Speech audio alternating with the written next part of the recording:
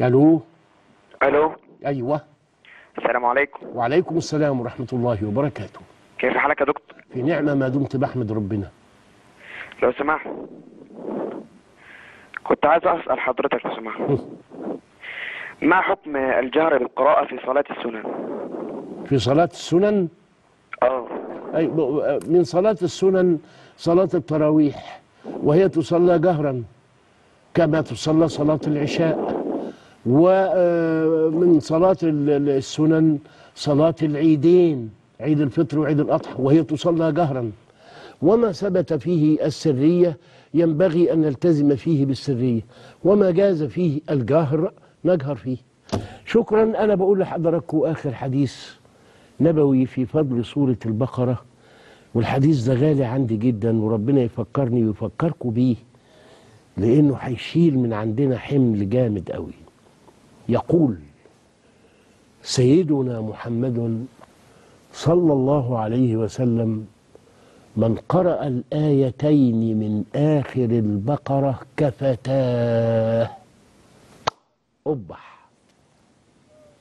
من قرأ الآيتين الله نقراه آمن الرسول بما أنزل إليه من ربه والمؤمنون. كل آمن بالله وملائكته وكتبه ورسله. لا نفرق بين أحد من رسله. وقالوا سمعنا وأطعنا غفرانك ربنا وإليك المصير.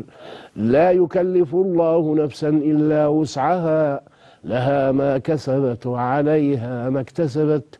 ربنا لا تؤاخذنا إن نسينا أو أخطأنا.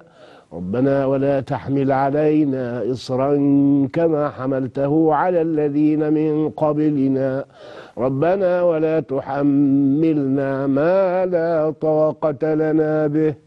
واعف عنا واغفر لنا وارحمنا. أنت مولانا فانصرنا على القوم الكافرين. هاتان الآيتان آخر سورة البقرة. سيدنا محمد عليه الصلاة والسلام قال اللي يقرأ الآيتين دول كفتاه.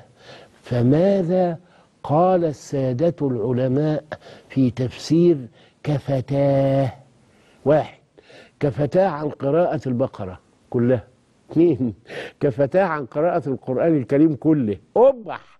ثلاثة كفتاه عن قيام الليل. الأولى اختارها الثانية اختارها الثالثة اختارها. المهم تعرف إن ده من أصح الأحاديث في فضل سورة البقرة أن الآيتين الأخيرتين ويكفي أن الآية الأخيرة 286 كلها دعاء وخير الدعاء دعاء القرآن الكريم يليه دعاء المصطفى صلى الله عليه وسلم يليه ما جال بخاطرك وأردت أن تدعو الله به. هذه الثلاثة مرتبة.